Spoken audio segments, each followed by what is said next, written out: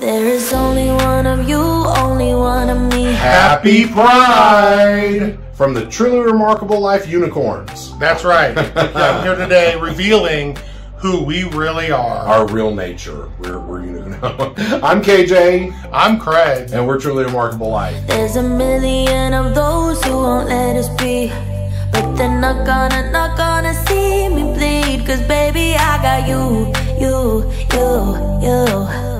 I've been beaten to the ground, dragged across the dirt. I've been scared to live cause some people never learn. But they're not gonna, not gonna watch me burn. Cause baby, I got you, you, you, you.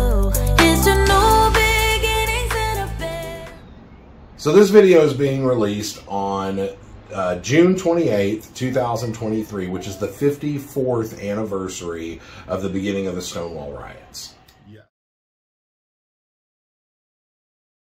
Um, Stonewall riots were an event that happened in New York City in 1969, whereas the people at the Stonewall Inn decided they were tired of the treatment. The police were attacking, were it was criminalized. They were attacking them. They were arresting people just for being in the bar. Period. And it basically boiled over into riots. So the people of the Stonewall Inn and New York City fought back. Um, and rumor has it that Marsha P. Johnson, drag performer at the bar, threw the first brick. And that brick became a riot. Just basically a putting their foot down and saying we're not going to accept this treatment anymore as non-equal citizens. Wanted to do today is we wanted to talk to you guys about the gay community here in Ajijic and what it's really like. We've been here about eight months, so we're going to Uh, share our experience. It's coming up Oh, on nine. Oh no no no no! It, it's coming up on nine months. Oh, I know. Okay. We've done a lot of videos. We've talked about the amazing gay community, LGBTQ community here in the Ajijic area, and it's it's truly it's truly remarkable. Really, um, there is a very large and growing community here in the Ajijic area. The median age is getting lower and lower, so that's um, you know, that, that's really interesting. Um, we wanted to talk about how the community here, while there is a big LGBTQ community and we do things together, there's a monthly dinner that we get together for. There is uh, Lucky Bar, which is a bar for everyone, but it is frequented by the LGBTQ community. Yeah, and the community here is very close knit when it comes to the LGBTQ folks. We support each other. We uh, welcome each other. We're very, you know, engaged in that. However, the community at large is actually very inclusive, and so, So overall, the community here in Ajijic um, is very welcoming of everyone. Uh, it's unnervingly so when you come Yeah. from when you come from a culture that um, where it's not that way. Um, you kind of have to backtrack and unlearn some things. I mean, you're just welcome here. Um, we've talked to a lot of people who've lived here for a long time, and it's just always been that way. Now, I can we can say that you know we can only speak for our experiences here in Ajijic. We also have seen that in various places like Puerto Vallarta.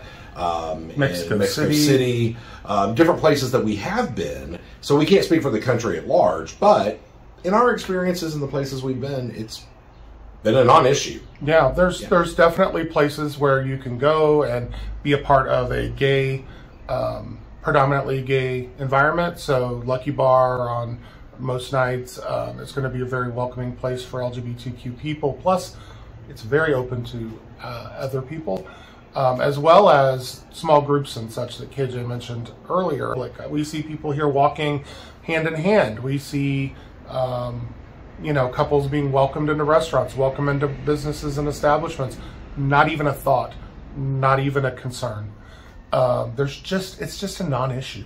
Yeah, it's it's it's it, it's like I said, it's kind of unnerving at first. It takes you back. Yeah, you kind of, I mean, I've gotten so used to my entire life, always like, always knowing what's going on behind my back and looking over my shoulder and, and just getting used to some forms of overt discrimination that I'm sorry, I hate to say this, but if you're not LGBTQIA, you just don't know. You, you haven't experienced. You it. live in a world where you don't see it. You don't realize it's going on. I mean, my You might recognize it. You might acknowledge it, but you haven't experienced it. and It's a very different thing. or you may not even see it.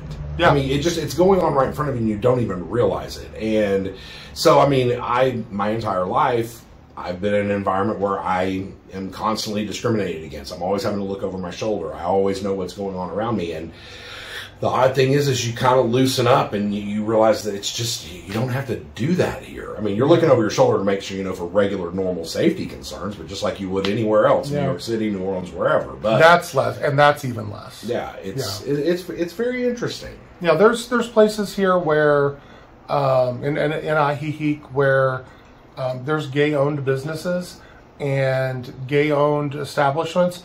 They're very welcoming to everyone. Everyone. It is the same on both sides. That gay people are very welcoming of straight people, or straight people being very welcoming of gay people.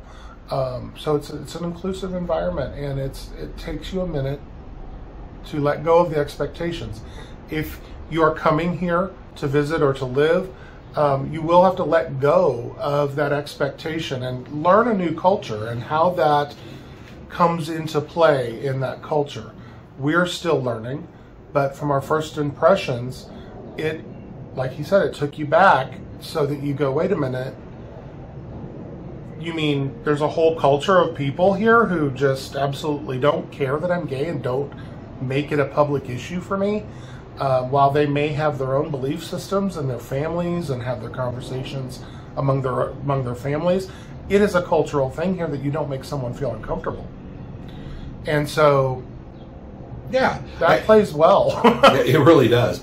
I, you know, and the the community here, the LGBTQIA community here, is truly amazing. Um, in some of our other videos, we've talked about different things, but I have never seen a community that can pull together at the drop of the hat to get things accomplished. You know, Yeah. um, even though the, the community at large is very welcoming and all that's wonderful, you know, you still have you know groups and communities and stuff like that. And the LGBTQIA community here is phenomenal. Um, I mean, you know, we've taught, we've told the story in previous videos about some friends. Uh, one of them um, had a medical issue and had to move back to the U.S. And literally, the community pulled together and made this happen. Um, Then we also have uh, a lot of examples of the LGBTQ community uh, participating in volunteer activities, uh, really, really engaging in the local community and acclimating to the local community, and really trying to help and make a difference in those areas where um, you know they get neglected sometimes. There's examples of orphanages, animal rescue, um, supporting education, helping people uh, achieve education, um, and then also kind of self monitoring. We're big in the self monitoring of the uh, expat immigrant community here, saying, "Hey, respect the culture." We're, we because we understand that we have a culture that's unique, and we just want to be respected. That's it, and we find that important to make sure we advocate for here. yeah, and I mean, you know, there, there's also you know businesses and stuff supporting each other. You know, there, um, you know, there's wonderful gay artists here. There's wonderful business owners here. There, you know, hey, there's us, YouTubers. you know. YouTubers. and we all, you know, and we do. We help support each other and pull each other in on different kinds of projects and get opinions and and that sort of stuff. And so, not only is there the LGBTQIA community that you know humanitarian uh, in a humanitarian kind of way helping each other. Businesses, you know, we we also are helping each other, you know, from a business perspective. So it's growing, and as the as the age, you know, um, as the median age of the community starts, you know, going from you know the seventy year old, eighty year old people down to you know the retirees. retirees into you know people in their thirties and forties and fifties that are moving here, and it's it's Re- really working remotely has changed yeah, everything. and it, it changes the dynamic, and all of a sudden you're starting to see this community really expand Mm-hmm. in multiple different ways, and that's really exciting. And in many ways helping the community. Yeah. Um, not coming and taking from it, but participating in it and being um, engaged in the local community and learning. So something that was really interesting is we uh, we sat down with a friend of ours who is a local premier real estate agent in the area, and we he's been here for 15 years, and we were able to sit down and talk with him about what was the community like whenever he first moved here, and what is it like today, and how has that changed? So we'll share a little bit of that with you. We'll introduce you to Steve Cross. Um, he is quite the fixture here in Ajijic and knows a lot about the history of the gay community as well as the community at large. Um, I'm Steve Cross. I have lived in Ajijic for 15 years, uh, originally from Northern Ireland, UK. um, I sell real estate here. Um, came here from Puerto Vallarta. Um, got sort of a little bit tired of the weather and the humidity. And even though this is touristy here, it's sort of got more of a connected feel. Uh, I like the community here between the locals, between the, the foreigners. It's just a more, it's a closer feeling than what I thought was in Puerto Vallarta. All of us sell to everybody. However, in the last seven years, the gay market has become very prominent, very, very prominent. It's, uh, um, I would say now the majority, I think I sold 56 homes last year and probably 20, I think 28 maybe, so just literally half were to gay couples or gay singles. And I'm only one person, you know, so there's a lot more coming in than that. Um, I, well, first of all, I think we became a little bit more popular here. I believe it was in February 2008 that the Advocate magazine profiled Ajijic as one of the best places for gay people to retire to. Um, that obviously got us a lot of people coming in. Um, my two friends who are now passed away, they were the focus of that interview to bring people here. Um, there used to be another realtor who has since retired who advertised in that as well. And that was probably the beginning of the, the influx coming in was from them. It started when I came here, first of all, in 2008. It was very um, sporadic. There was there was still a gay presence, um, but not nearly what it is at the minute. You know, and I never thought I'd see, maybe in my lifetime even, a, a gay bar or a gay focused bar, um, pride parades, and so on. I think one of the big developments has been the, the Lake Chapala Society, which now has a gay president. The Lakeside Little Theatre, which now has a gay president. So we've um, incorporated a lot of things like Pride Month and Pride Magazine for June and so on. So um, it's developed hugely. Uh, maybe about seven or eight years ago, there was a bar called El Infierno, which was sort of the precursor to Lucky Bar. Um, and he, he, flew the flag and so on. It was very much a mixed crowd, but nobody cared. And it was a really busy, happening bar. Um, and that sort of became like a focus. We had a medium point eventually. Um, then, as more and more people bought, you know, it started to focus on um, people's houses, cocktail parties at homes, dinner parties, meeting somewhere for a cocktail, going to dinner. Uh, and of course, now we have the gay dinners that have 60 people going. So and so it's it's very organized now. So obviously, the LGBTQI community in Ajijic has grown um, mm-hmm. significantly over the years. Um, what would you, how would you say that the local community um, perceives that, or and what do you think are are there any safety concerns or anything like that for LGBTQIA people here? Um, I, I, think it's one of the attractions of the area is that local people just really don't care. At that there's a really lax attitude to whether you're straight or gay. As long as you're a good person, uh, they're going to accept you. I know that with you know most people here, of course, have a maid and gardener and so on. Uh, my maiden gardener are they've been with us for 15 years when I was married, uh, now widowed. Um, but they have, they just don't care that. You know, they don't care if one of their sons is gay. We've often talked about it, um, about their younger son, and they just don't care um, anything like that. So I think that's one of the attractions is just the don't care attitude to it, and everybody mixes in. I think in 15 years here, I've never had a, you know, being called a name or anything like that. Um, we are starting to see a couple of trans people now, but not a problem at all. That, that, that, you know, hangs out in the village square without any fear of anybody attacking or saying anything to her. Um, along those lines, so there's a, a, a, large influx of immigrants, expats into the community, um, not just you know from the Mm-hmm. LGBTQIA community. Um, do you see or have you heard of any issues with people coming from north of the border and bringing any sort of neg- negative stereotypes or hate with them down here? Not, not personally, no.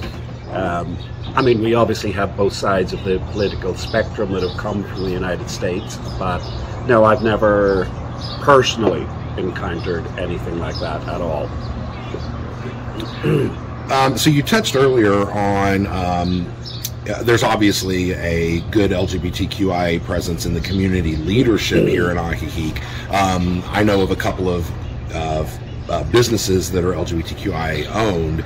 Um, can you expand on the presence of business owners, community leaders in the area?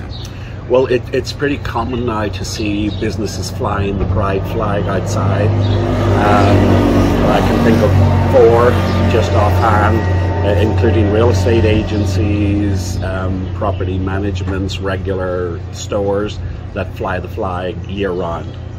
That, so it's not an issue here at all. When you when you moved here from Puerto Vallarta, uh, what was the what was the LGBTQIA community like, and how has that changed over time? Aside from just getting bigger, how how has it changed and evolved? Um, well, I think when when we moved here originally, there was obviously a lot less um, gay presence here, um, and anybody that was was in their seventies. Um, I came here in my early forties. Fernando was in his late thirties, and they all referred to us as the teenagers everywhere that we went. so. Um, the change is that first of all there's been a lot more obviously moving in but also the demographic is younger people are working remotely so that's allowed not just in the gay community but a younger presence to come in. And you know for many they see it as an opportunity if you're making us dollars and living in mexican pesos. You know it's uh, probably like a 30% wage increase uh, that, so that's brought a lot of people in. And our location is great, you know, because you can be in Puerto Vallarta, you know, on a 50-minute flight. You Oh, yeah. can go to San Miguel. You could, you know, there's so, and having the international airport here, you know, even for me going back home, it's two flights, you know, to get back home. That's one of the, I think, the drawbacks that people complain about San Miguel de Allende Mm-hmm. is trying to get there, because Leon is the a smaller airport, Mm-hmm. so it's just a little bit more difficult. Yeah, the proximity to Guadalajara Airport is amazing. Yes, it is. because it sits south of the city, Mhm. so you're not having to really like go through all the city. You just Yes. hire a driver, boom, you're Mhm. right there. Yeah. The taxi Exactly. cabs run 24 hours a day to bring you back. Yes, and you that's can right. go anywhere. Yeah. You right. can you can even I mean you can even hop a bus here in Ajijic that will take you all the way up to Guadalajara, and then you Mhm. can just Uber over to the other bus station Yes. and get on one of those luxury coaches. and they're go, really nice. Yeah. they've got internet. Yeah. that they're a really nice bus system. I've Yeah. used them several times. I want to do that. We haven't done that yet, but yeah, I want to do yeah, that. no, they're pretty cool. yeah, they really are. That'll be really cool. And also, we've uh, um, definitely have a younger uh, local gay presence that was never seen when I came here first. Do you think that that is because you're seeing um, more of an open attitude with the within the local community, and more Yeah. kids are coming out? Definitely. Yeah, yeah. I mean, I know a couple of kids here. Um, there's one that I know from Guadalajara whose parents had a terrible time with him coming out, but um, it really doesn't seem to be the norm here. Uh, going off on one of the tangents, um, what people used to say here is the hot springs um, that are just out west here. Apparently, in like the 50s, there was a community that centered around there that it, that and this could be folklore, but I've heard it from several long-term people here. They said that they, they sort of believed that the springs had healing powers, but they were nearly all foreigners that settled around them. And uh, so the locals were kind of used to having a, a different kind of foreigner here. Uh, my gardeners uh, actually told me that. Uh, that he said, no, we were just used. They probably referred to them as weird people, but not in a, a nasty, rude way. Just that, that they had a different lifestyle. So they said, you know, that we've always become accustomed here to different lifestyles that being here. I, I, guess to sum it up, what I would say, if you're interested in the area, just come down. Um, you'll be surprised how beautiful, friendly, caring, and welcoming it is. And uh, as we were just saying, there is being gay is just a zero issue here. Nobody cares about it. I would especially encourage you to come down if you're 60 plus and single and looking for somebody like me. and I do realize how desperate that was. this is you go to Puerto Vallarta to have fun. Mm-hmm. You come here when you're serious and ready to settle down yes. with someone. yeah, that's right. Yeah. Okay. Well, thank you for joining us. So, uh, thank you for being a part of this. But if you contact him, we will have his contact information down in the description. Make sure that you tell him truly remarkable life. Craig and KJ sent you. Please do. Please do. Yeah, we want to let him know that all of us are behind him as well. And happy pride to everyone out there, whether you're gay, straight, lesbian, trans, anything that you identify as, we say happy pride. Be proud of yourself. And to the rest of our allies and our community that support us, we say thank you. And happy Pride! Happy Pride! if somebody is here in person, um, I like to just get them in the car, drive for maybe two hours to different areas, uh, let them see the, the different neighborhoods and so on, then arrange maybe the next day that we go look at five houses um, in whatever budget that they look, again in different areas, so as you're educated as to how far your money goes. So if you haven't already, go find your truly remarkable life. There is only one of you, only one of me. There's a million of those who won't let us be. But they're not gonna, not gonna